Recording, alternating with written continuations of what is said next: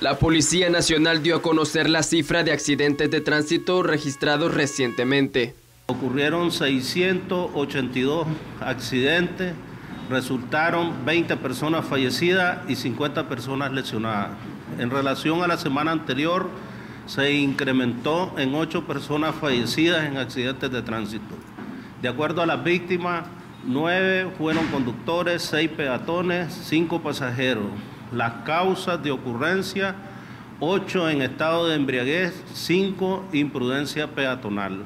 De la misma manera brindaron recomendaciones para evitar estos accidentes. A extremar las, las medidas de reducir la velocidad, a no tomar, a los peatones, a usar ropa clara, no atravesar ríos, no atravesar corrientes que estén densas en las calles. Estas cifras son dadas a conocer de manera periódica para llevar un estudio minucioso del comportamiento de los accidentes en el país. Con imágenes del camarógrafo Francisco Espinosa para Crónica TN8, Joshua Chiriboga.